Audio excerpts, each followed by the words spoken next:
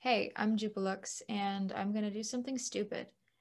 Uh, I'm going to release a song every day for the next month because it sounds like a challenge and it seems like the perfect time to do that. So you should subscribe to me so that you can watch me figure it out.